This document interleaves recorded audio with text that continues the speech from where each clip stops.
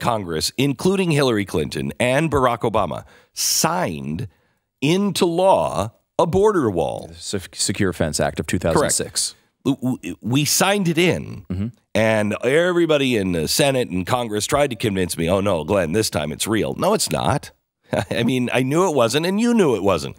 They had no intention of doing it, they were just placating the American people. But this doesn't start in 2006.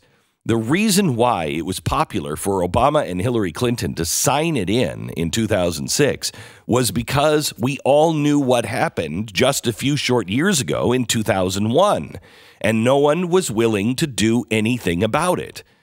Our borders, north and south, are trouble. But there's another there's another piece of the puzzle. The the overwhelming problem that we have is overstayed visas. And they've never fixed that either. That's that was the number one problem on September 11th. That's still the number one problem with terror. And a border wall won't have anything to do with that. It won't fix it. But I don't think that's where the American people are. They know that. They don't think this is a fix all.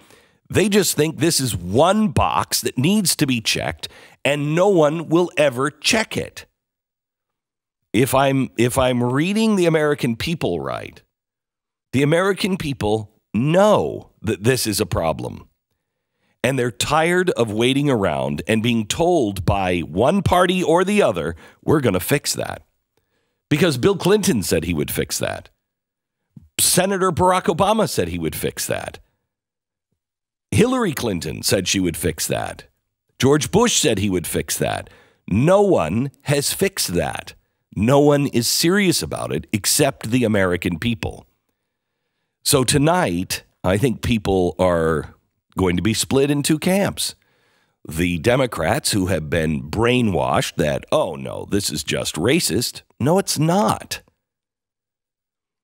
they're going to be against it, even though their leaders signed it in in 2006 when all the rest of the Democrats remembered September 11th. They're going to be brainwashed and they're going to say, no, this is nothing about race, uh, nothing but race.